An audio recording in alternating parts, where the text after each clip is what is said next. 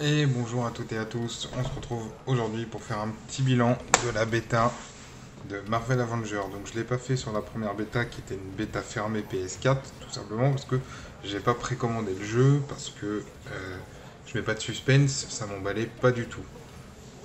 Ensuite, ce week-end, ils ont fait une bêta ouverte PS4 et ils ont fait la bêta fermée Xbox One PC. Et le week-end prochain, le dernier week-end avant la sortie, euh, ils vont faire une bêta ouverte sur tous les supports pour ceux qui veulent essayer avant d'acheter. Et le jeu donc sortira le 4 septembre. Et je vais commencer par vous parler de quelque chose qui me faisait euh, peur. C'est le, le gameplay. Je regarde de temps en temps à côté parce que j'ai mes notes. En fait, j'avais préparé un texte à la base et puis je préfère vous le faire comme ça et et discuter comme ça plutôt que de vous, faire une vidéo de 3-4 minutes et de vous lire un texte.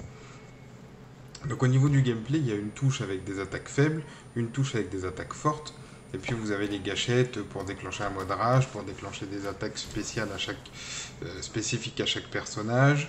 Euh, et ensuite c'est des combos de touches, genre faire 4 fois carré, une fois triangle. Euh, voilà, là on est, les images sont tirées de la version PS4 Pro. Donc c'est ce genre de gameplay. Un, excusez-moi, c'est un beat'em all. Donc euh, c'est un gameplay assez simple, euh, à la base sur deux touches, plus des touches de d'attaque spéciale qui se rechargent avec le temps, euh, et une barre de rage.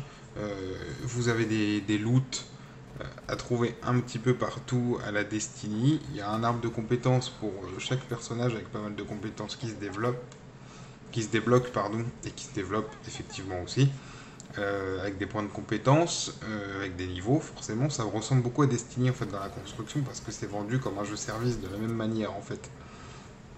Euh, vous avez aussi des équipements, dans les loots par exemple, que vous pouvez mettre à vos personnages qui vont augmenter la puissance, qui vont augmenter la défense, qui vont augmenter, qui vont vous donner des, spécificités, pardon, qui vont vous permettre de personnaliser un peu vos persos. Vous avez aussi d'ailleurs de quoi changer un petit peu leur apparence, leur costume et tout. Donc il y a pas mal de choses euh, dans le gameplay et dans le contenu, on va dire, qui font que ça peut rendre le truc un petit peu plus intéressant parce que honnêtement, euh, j'étais pas du tout emballé et j'avais même euh, un peu peur et j'ai un petit peu de mal, même à la fin de cette bêta, à comprendre toute cette hype, mais j'en parlerai quand je donnerai mon avis à la fin. Euh, en termes de contenu, alors là par contre c'est un point fort je pense, et en même temps il faudra voir quand même si c'est assez varié. Dans la bêta il y a 20 missions, il faut compter à peu près 20 heures, euh, 20 heures, 5 heures pardon, et dans le jeu final il y, il y aura 80 missions. C'est entièrement jouable en solo, avec une IA, ou en coop avec vos potes ou des gens que vous connaissez pas. Alors moi j'ai complètement bloqué le matchmaking parce que moi de toute façon j'aime pas jouer avec des gens et encore moins des gens que je connais pas. Euh, mais euh, apparemment sur la première bêta, la fermée, ça marchait pas du tout, ou très rarement. Donc là j'ai pas essayé, donc je ne peux pas vous dire, mais bon j'espère quand même que quand le jeu sortira, ça fonctionnera. Après on n'est pas à, une ou deux surprises près, hein, évidemment. En tout cas là j'ai pas essayé. Mais donc c'est jouable totalement en coop avec vos potes. Euh, donc ça devrait donner une bonne durée de vie au jeu si, comme je l'ai dit, il se renouvelle suffisamment dans son gameplay. C'est là que j'ai un peu peur. Euh, a noter que euh, Spider-Man est jouable que sur la version PS4 Pro et vous ne l'aurez pas sur PC et Xbox One, tout simplement parce que Sony euh, a la licence euh, Spider-Man pour les films. Après, je pense que du coup, pour les jeux, ils ont aussi une exclusivité par rapport à ça. Euh, voilà ce que je pouvais vous dire au niveau du contenu, puisque après c'est des loots, ça ressemble, vous l'ai dit dans la construction, beaucoup à des styles. Vous faites l'émission, vous avez du loot, il faut récupérer soit des, éléments à mettre à votre perso, soit des trucs pour les améliorer. Donc, euh, voilà, c'est vraiment dans la construction que je trouve que ça y ressemble beaucoup. Destiny ou Anthem, hein, puisque c'est un peu le même genre de truc, puisque c'est vendu, faut savoir, comme un jeu service. Donc c'est un jeu qui est censé durer euh, sur plusieurs années. Et je crois bien qu'on parle déjà d'une version PS5 et série X en fait pour continuer. Donc c'est un jeu qui va devoir euh, vivre pendant des années. Donc au niveau technique, je vous l'ai dit, le jeu, les images sont tirées de la version PS4 Pro. Sur PS4 Pro, ça propose un mode 4K ou un mode performance. J'ai noté des baisses de framerate. Alors elles sont pas si c'est pas si catastrophique que ça par rapport à ce que j'ai lu de la bêta fermée. Alors soit il y a déjà eu des améliorations, soit je sais pas, il y a quelque chose, mais là c'était pas. Il y en a, mais c'était pas non plus euh, affreux tout le temps. Euh, les décors, quelque chose que j'ai bien aimé, les décors sont relativement destructibles et quand vous avez Hulk, c'est quand même quelque chose de, très bien parce qu'avec Hulk on peut tout défoncer. Euh, la PS4 elle souffle bien sur ce genre de jeu, c'est une PS4 Pro et pourtant sur ce jeu là elle souffle pas mal. Est-ce que c'est des problèmes d'optimisation Je ne sais pas, mais je pense de toute façon qu'il y a un petit peu d'optimisation à faire encore sur le jeu. Alors sur cette version bêta, euh, parfois il y a des bugs de son, c'est-à-dire que votre personnage il va sortir une phrase en anglais puis la phrase d'après en français. Il y a des dialogues qui se passent entièrement comme ça, ça fait une phrase anglais, une phrase français, une phrase anglais. C'est un peu le bordel. Euh, maintenant j'espère qu'il n'y aura pas ce problème là sur la version finale, mais le jeu sort le 4 septembre, on est là au moment où je tourne ça, on est le 16 août, il reste pas longtemps, j'espère que ce genre de, de petits bugs et les dernières optimisations, ils vont vraiment les faire et ils vont pas nous sortir ça comme ça et puis faire des patchs petit à petit parce que ce serait vraiment relou.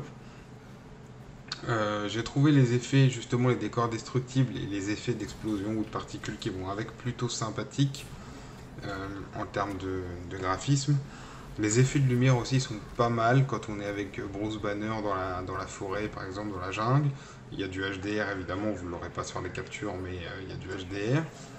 Donc j'ai trouvé ça pas mal. Après, pour le reste, les textures et tout le reste, globalement c'est euh, moyen quoi c'est correct on va dire sans plus quoi c'est pas ça voilà quand on a vu Ghost of Tsushima quand on a vu God of War quand on a vu des Uncharted même si je suis pas fan euh, voilà c'est pas moche évidemment euh, mais on est en fin de génération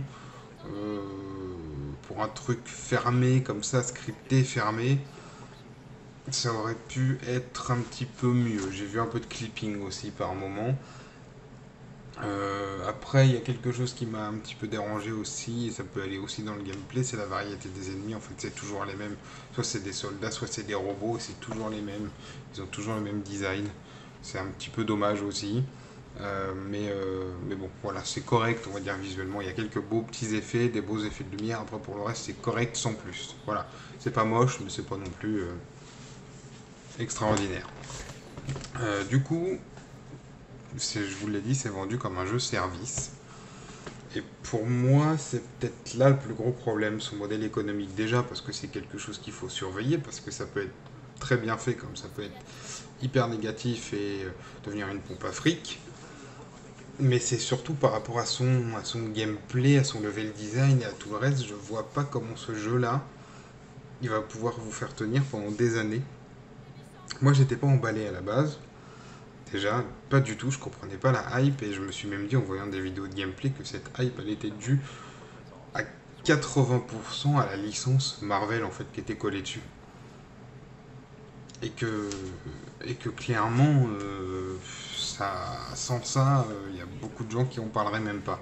Et je pense sincèrement qu'il y a un petit peu de ça. Alors peut-être pas autant que ce que je pensais au départ, mais je pense qu'il y a des gens, c'est surtout pour la licence Marvel, parce que sans ça, à mon avis, euh, il n'y aurait pas eu euh, autant d'intérêt.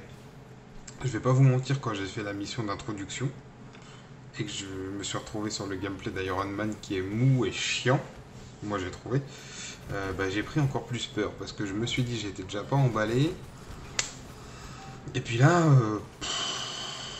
voilà, ça a été ça mon sentiment après cette mission d'introduction. Parce que même au moment où vous avez Hulk, que vous courez sur le pont et tout, j'ai dû mettre des captures. en plus, au début, quand j'ai commencé, j'avais un message qui s'affichait tout le temps, genre connexion perdue, alors que j'étais bien connecté à Internet. Et, ça m'a énervé encore plus. Après, ça me l'a pas refait sur le reste des, parties que j'ai faites, mais ça m'a énervé parce que je me suis dit putain, c'est pas possible, ça va me faire ça tout le temps, ça va me faire chier sur toutes les captures et tout.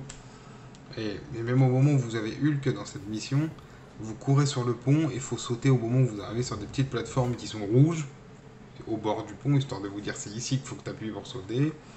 Et en fait, tout est comme ça, tout est scripté, même quand vous avez l'impression de pouvoir faire un truc, en fait, on vous dit exactement quand le faire et tout. Euh, c'est.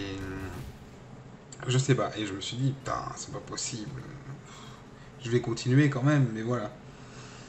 Puis j'ai continué. Et euh, heureusement, par la suite, ça s'est quand même un petit peu amélioré. J'ai fait un ou deux petits combats, on va dire, entre guillemets, de, boss. Bon, c'est toujours un peu du bourrinage, mais, euh, mais c'était mieux parce qu'il faut quand même faire des esquives, il faut quand même. Voilà, c'était un petit peu mieux. Il y a quelques, euh, quelques scènes euh, où on vous demande de faire quelques QTE, voilà.